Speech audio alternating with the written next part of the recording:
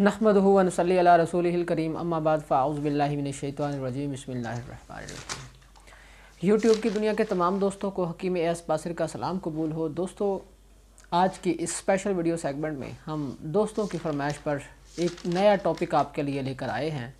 ये टॉपिक जिसको ज़कावत हिस्स कहते हैं। इसके बारे में आपसे बात करेंगे। आज की इस वीडियो में आपको बताएँगे कि ज़कावत हिस्स कहते किसे हैं। ज़कावत हिस्स क्यों पैदा होती है और ज़कावत हिस्स के नुकसान क्या हैं? ज़कावत हिस्स का इलाज क्या है? इन सब सवालों के जवाब जानने के लिए वीडियो को आखिर तक देखिएगा। और अगर अभी तक आप लोगों ने हमारा चैनल सब्सक्राइब नहीं किया है तो हमारे चैनल को सब्सक्राइब कर लें, ताकि हमारी आने वाली हर वीडियो आप तक बसानी पहुँच जाए। जी तो दोस्तों, बात को आगे बढ़ाने से पहले हम ज़कावत हिस्स के, मर्ज़ के, इलाज की अहमियत के बारे में दो चार बातें कर लें तो बेहतर होगा। ज़कावत हिस्स एक ऐसा मसला है कि ये मसला किसी भी मर्दाना टाइप की बीमारी के इलाज करने से पहले इसका हल करना ज़रूरी है।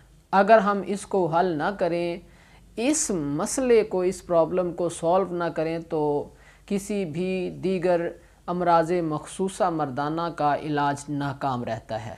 मिसाल के तौर पर, अगर एक मरीज़ मस्टरबेशन का है, जलक, अगलाम, स्पर्मेटोरिया प्री मेचर मनी का कम होना, मनी का पतलापन, ये सारे अमराज या सीमंस का ना होना, स्पर्म्स का ना होना, ये सारे अमराज जितने हैं, इनके अंदर अगर मरीज़ में हिस्स बढ़ चुकी है, मरीज़ ज़कावत हिस्स का मरीज़ बन चुका है तो पहले ज़कावत हिस्स के मसले को हल करना ज़रूरी है, उसके बाद दीगर अमराज का इलाज ज़रूरी है।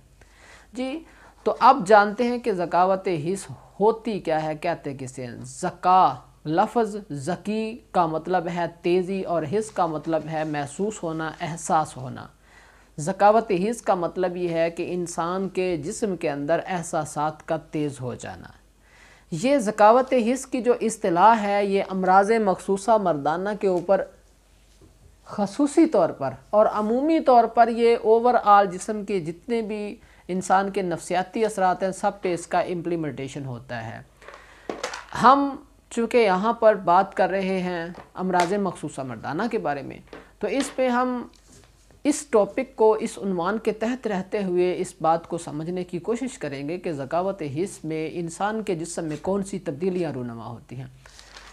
ज़कावत हिस्स में इंसान की जो सेक्सुअल वर्किंग की सेक्सुअल हंगर की जिनसी भूख की इश्तिया हद से ज़्यादा बढ़ जाती है।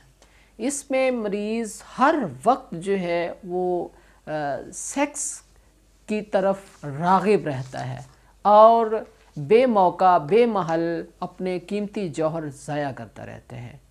अगर किसी मरीज़ को शादी से पहले या बाद की कमज़ोरी है, सूरत अनजाल है, जरियान है, एहतलाम है तो उसमें अगर सूरत अनजाल का, उसके, सूरत अनजाल के साथ साथ, दीगर तमाम मसाइल के साथ साथ अगर ज़कावत हिस्स का मसला मौजूद है तो आप बिल्कुल भी उसका इलाज दूसरे अमराज का इलाज नहीं कर सक, कर पाते जब तक के हम ज़कावत हिस्स को ख़त्म ना करें। तो आज की इस वीडियो में हम ज़कावत हिस्स को ख़त्म करने के लिए एक गारंटेड नुस्खा भी हम आपको बताने वाले हैं। देखें, अमराज मखसूस मर्दाना के लिए तीन स्टेप्स हैं इलाज के लिए। जरियान के इलाज में भी हम, एहतलाम के इलाज में भी सूरत अनजाल के इलाज में भी हम सबसे पहले जो मसला हल करते हैं वो ज़कावत हिस्स का है। हम हिस्स को ख़त्म करते हैं और यहाँ पर अक्सर मरीज़ जो है ये परेशान हो जाते हैं कि ये तबीब साहब से दवाई ली है और हमारी तो जो सेक्सुअल पावर है वो पहले से भी ज़ीरो हो गई है। हालाँकि उनको ये बात समझाई नहीं जाती या वो ख़ुद इस बात को समझते नहीं हैं कि जब आप अपने जिस प्रॉब्लम को आप हल करना चाहते हैं, उसके हल करने के लिए पहला स्टेप जो है वो यही है कि हम हिस्स के ज़िकीपन को हिस्स के हिस्स की तेज़ी को ख़त्म करें।